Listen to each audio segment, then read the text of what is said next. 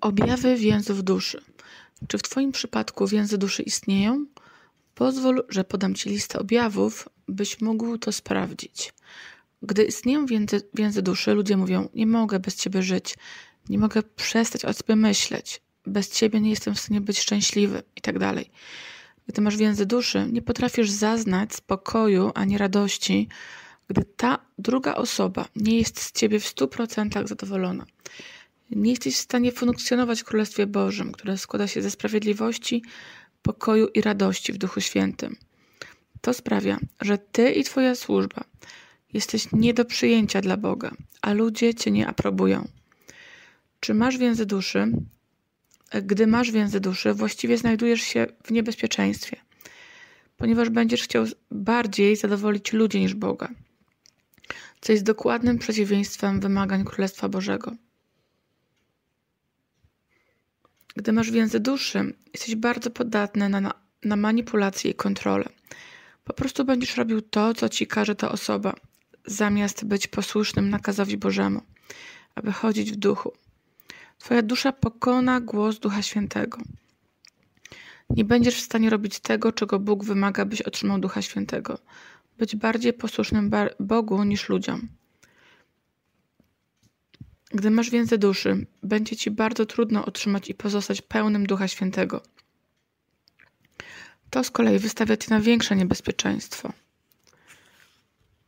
Bo kiedy twój duch jest osłabiony, dusza przejmie mocniejsze panowanie. Gdy, gdy masz więcej duszy, będziesz kroczył w ciele zamiast w duchu. Będziesz patrzył na rzeczy cielesne bardziej niż duchowe, co będzie utrudniać ci życie i zabierać pokój. Właściwie będziesz zbierać śmierć i nie będziesz mógł zadowolić Boga, gdyż Twój umysł będzie nieustannie zajęty rzeczami ziemskimi. Gdy masz więzy duszy, będziesz ubóstwiać tę osobę. Ostrzegam jeszcze raz, to się dzieje w tak subtelny, niemal niezauważalny sposób, że możesz nawet nie być tego świadomy. Tylko badawcze światło Ducha Świętego może przeszukać Twoje serce, duszę i umysł i wykryć tak zasiew złego w Tobie.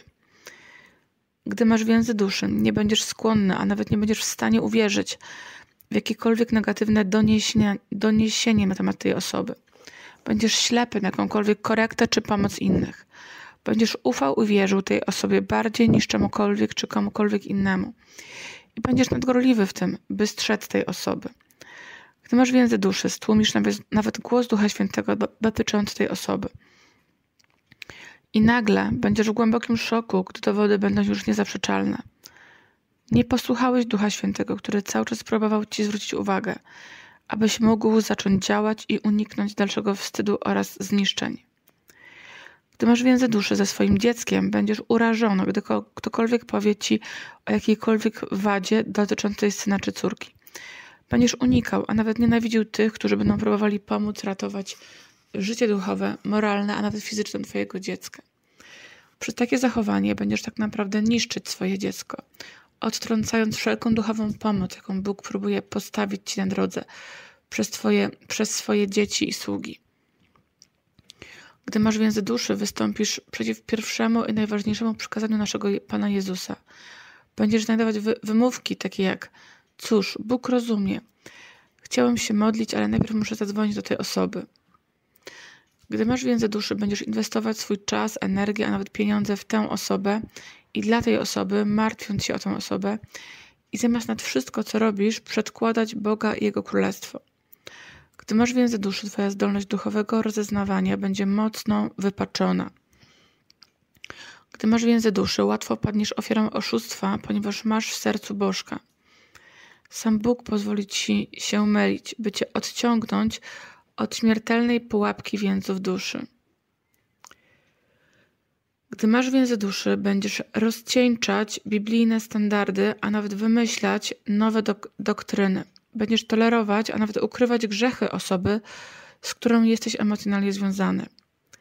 Gdy masz więzy duszy, będzie ci brakowało duchowego rozeznania i autorytetu, by skorygować, zganić i podnieść tę osobę. Gdy masz więzy duszy, twój umysł i myśli będą zawsze kręcić się wokół tej osoby. Twoją pierwszą myślą rano i ostatnią wieczorem będzie, jak zadowolić tą osobę. Gdy masz więzy duszy, Twoja wola i podejmowanie decyzji będą poważnie ograniczone. Nie będziesz w stanie podejmować decyzji opierając się na Bogu, Jego słowie, Jego woli i Jego powołaniu dla Twojego życia. W każdej decyzji będziesz brał pod uwagę tę osobę i znajdziesz w niebezpieczeństwie, znajdziesz się w niebezpieczeństwie zupełnego rozminięcia się z wolą Bożą dla Twojego życia. Gdy masz więzy duszy, będziesz również odciągał tę osobę, drugą od, Bo od Bożej woli, w takim szaleństwie trzymania się razem za wszelką cenę. Gdy masz więzy duszy, nie będziesz w stanie poddać emocji pod kontrolę swojego ducha. Będziesz na łasce emocji tej osoby. Jej szczęście będzie Twoim szczęściem, a jej smutek będzie Twoją zagładą. Gdy masz więcej duszy, Twoje emocje nie będą dostępne dla Jezusa, aby przez Ciebie żył i kochał, gdyż będą przywiązane do tej jednej osoby, na punkcie której masz obsesję. Wszystko, co diabeł musi zrobić, to włożyć jedną łzę w oko tej osoby, by uczynić Cię zupełnie bezużytecznym dla służby Bogu. Gdy masz więzy duszy, będzie to miało negatywny wpływ na Twoje zdrowie.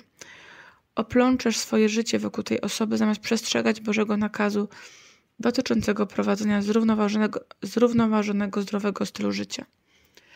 Gdy masz więzy duszy, ucierpi na tym Twoje zdrowie psychiczne, bo masz niemal obsesję na punkcie czegoś lub kogoś innego niż Twój Pan i Zbawiciel Jezus Chrystus.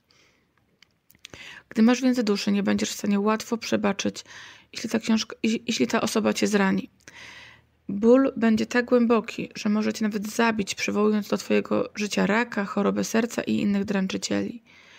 Nawet po latach bez kontaktu z tą osobą więzy duszy mogą pozostać nietknięte, czyli mogą nadal istnieć i uczynić spustoszenie w swoim życiu. Chyba, że świadomie je zerwiesz. Gdy masz więzy duszy, będziesz żyć w ciągłym strachu, ponieważ ta osoba jest dla ciebie taka cenna. Jakikolwiek mały dyskomfort odczuwany przez nią wpędzi cię w otchłań przerażenia. Umysł natychmiast pokaże ci wszelkie rodzaje okropnych scenariuszy tego, co mogłoby się stać. Gdy masz więzy duszy, będziesz się obawiać, że ta osoba nabawi się depresji albo nawet popełni samobójstwo, jeśli spróbujesz choć trochę poluzować więzy tej duszącej relacji. Gdy masz więzy duszy, będziesz osobą bardzo podejrzliwą. Będziesz miał różnego rodzaju negatywne oczekiwania i nie będziesz ufać ludziom, życiu oraz samemu Bogu. Gdy masz więzy duszy, za zarządzanie czasem sprawi ci wiele trudności. Twój czas modlitwy i studium biblijnego będzie wykradany przez niepotrzebne rozmowy telefoniczne, rozmowy, w których próbujesz zaspokoić czy usatysfakcjonować tę osobę, mnóstwo duszewnej gadaniny bez żadnego pożytku duchowego oraz smutne, ponure uczucia i przewidywanie. Gdy masz więzy duszy, będziesz walczył, by spędzać odpowiednią ilość czasu w Bożej obecności, zanurzać się w Jego duchu i Jego miłości. Twoje serce i umysł zawsze będą podzielone. Gdziekolwiek jesteś, ta osoba będzie zajmowała pierwsze miejsce w Twoich myślach. Głęboka koncentracja i oddanie w modlitwie będą niezmiernie trudne. To będzie nieustanna walka. Gdy masz więzy duszy, będziesz zmagał się w podążaniu za Bożym powołaniem dla Twojego życia. Zapewnienie szczęścia tej osoby będzie Ci się wydawało ważniejsze od wypełnienia niebiańskiego, Bożego powołania. Twoja uwaga z łatwością zostanie odwrócona i skierowana na to, czego ta osoba chce lub wymaga, byś uczynił. Gdy masz więzy duszy, Twoja służba ulegnie spowolnieniu. To wielki znak ostrzegawczy. Jeśli pozwolisz, by ta sytuacja trwała dłużej, sam Bóg podniesie się przeciw Tobie, gdyż jest On Bogiem zazdrosnym, który nie odda swojego miejsca ani chwały niczemu i nikomu innego w Twoim życiu. Gdy masz więzy duszy, łatwo się wypalisz. Bądź rozdarty pomiędzy Bożymi wymaganiami co do Twojego życia oraz czasu, a wymaganiami, jakie nakłada na Ciebie te relacje. Działa tu ta sama zasada, którą dał nam Jezus odnośnie do pieniędzy. Nie możesz, Bogu, nie możesz służyć Bogu i jednocześnie czemukolwiek czy komukolwiek innemu. Ilość czasu, jaką On ci dał, zawsze będzie wystarczająca, by pełnić Jego wolę, ale nigdy nie będzie wystarczająca, by spełniać Twoją wolę. Jeśli widzisz, że grozi Ci wypalenie, zdecydowanie potrzebujesz uporządkować na nowo swoje priorytety. Gdy masz więcej duszy we wszystkim, co robisz, doświadczasz jedynie frustracji. Słowo Boże obiecuje, że gdy będziemy radować się w Panu, On spełni pragnienia naszego serca. Jeśli radujesz się czymkolwiek lub kimkolwiek bardziej niż Panem, Nigdy nie doświadczysz wypełnienia wszelkich obietnic, jakie dał ci Bóg. Gdy masz więcej duszy, będziesz głęboko ranić serce twojego, twojego kochającego ojca i zazdrosnego kochanka. On stoi z wyciągniętymi rękami, pełnymi darów i rozkoszy dla ciebie, nie pragnąc niczego więcej, jak tylko wylać je na ciebie. Lecz twoje oczy są skierowane jedynie na tę osobę. Co za tragedia.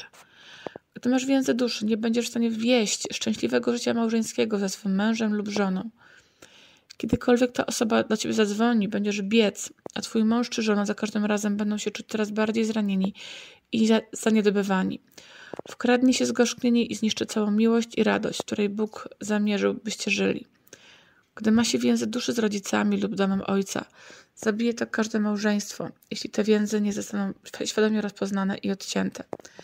Bez różnicy, czy te więzy są obecne w życiu męża czy w żonie. Oboje zostali pouczeni przez Słowo Bożym, aby uczynić małżeństwo życiowym priorytetem. Jeśli masz więzy duszy ze swoimi dziećmi, to również zniszczy to twoje małżeństwo. Popełnisz błąd zaniedbania względem męża czy żony na rzecz dzieci. Nigdy nie zapominaj, dzieci dane są tobie pod opiekę i nadzór na parę lat, a potem musisz je wypuścić do ich własnego życia rodzinnego. A mąż czy żona według Bożej mądrości i rozporządzenia są z tobą aż do twojego ostatniego tchnienia. Gdy masz więzy duszy, istnieje wielkie niebezpieczeństwo, że popadniesz cudzołóstwo. Jakże wiele kobiet oddało się jakiemuś mężczyźnie z czystej litości i współczucia, bo został zwabione czułymi słówkami. Gdy masz więzy duszy, mogą one prowadzić do więzów ciała, czego skutkiem może być homoseksualizm. I takie pary są często niemalże niemożliwe do rozdzielenia. Gdy masz więcej duszy, możesz silnie, możesz mieć silne przeczucia mówiące, co ta druga osoba w danym momencie przeżywa. Gdy masz więcej duszy, rozwiniesz z tą osobą coś na kształt oddzielnej kultury, prywatnej społeczności i będziecie mieli swoje dowcipy, język, zainteresowania, marzenia i będziecie gardzili opiniami innych. Będziecie odcięci od jakichkolwiek innych zdrowych relacji i przylgniesz tylko do tej jednej osoby, której pragnie Twoja dusza. Gdy masz więcej duszy, możesz pragnąć swojej własnej śmierci i nawet rozważać samobójstwo.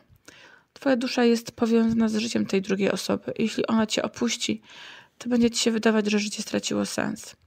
Nie będziesz umiał skoncentrować się na Bożym celu, ani powołaniu do Twojego życia i zmarnujesz je na pogrążanie się w żalu i płaczu.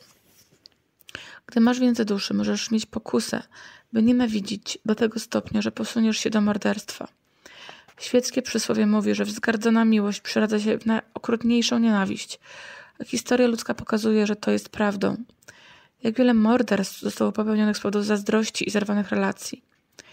Gdy masz więcej duszy, przekleństwo oraz demoniczne wpływy tej osoby, a nawet jej krewnych, będą mieć wpływ również na ciebie. Moce demoniczne wędrują poprzez więzy duszy oraz przez pogwałcenie twojej pierwszej miłości i oddania Jezusowi. I otwierasz drzwi demonom i przekleństwom, które atakują twoje życie. To są tylko niektóre spośród okrutnych oznak i konsekwencji więzów duszy. Jestem pewna, że odkryłeś je w swoim życiu i w życiu wielu osób, które kochasz. Odkrywając je, już wygrywasz połowę bitwy. Szatan działa w ciemności. Gdy jego podstępna broń raz wyjdzie na światło dzienne, traci bardzo dużą część swojej mocy. Spójrzmy teraz, jak więzy duszy wpływają na różne obszary Twojego życia, jak możesz się od nich uwolnić oraz cieszyć się cudowną wolnością dzieci Bożych.